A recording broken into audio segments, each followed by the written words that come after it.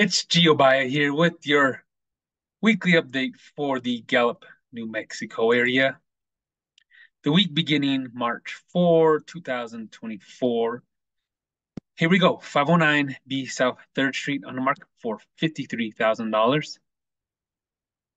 411 East Maloney Avenue on the market for $59,900. 14 Lambda Street on the market for $67,900. 207 Pine Street on the market for $120,000. 603 North McKinley Drive on the market for $129,000. 510 East Pershing Avenue on the market for $129,000. 204 Elizabeth Street on the market for $139,000. 408 East Green Street on the market for $182,000. 600 Country Country 600 Stagecoach Road on the market for $270,000.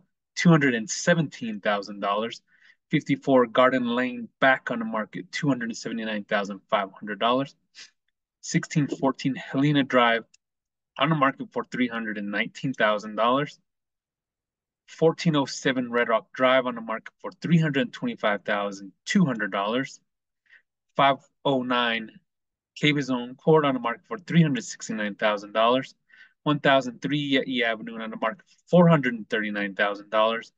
555 South Florence Street on the market for $575,000. 2001 Plateau Drive on the market for $595,000.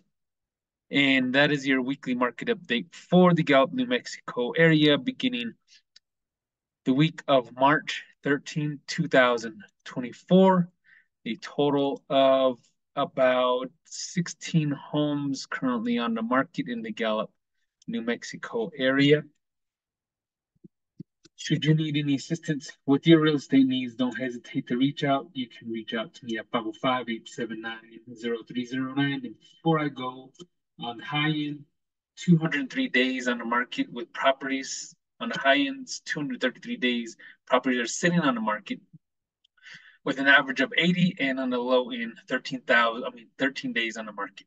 On the high end $595,000, on the low end $53,000 with an average of $249,906 is your average listing on the market. So again, Geo Bia, your homeboy.